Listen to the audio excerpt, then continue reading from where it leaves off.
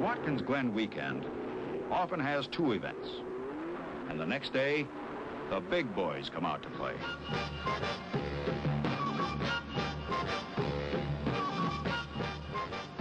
These are Group 7 cars with unlimited engine size.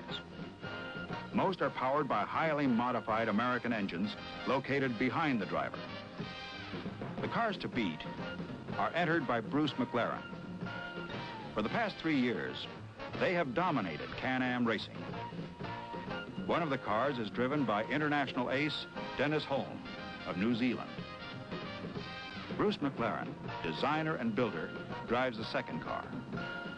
Both are powered by modified Chevrolet engines delivering 650 horsepower. They've won against all comers, including Jim Hall's Chaparrals, Roger Penske's Lolas, and Italian Ferraris. Some of the sports cars that raced in the six hours of endurance have been overhauled overnight and are ready to run in this, the Can-Am Series. The McLaren cars earned front row starting positions with best qualifying speed.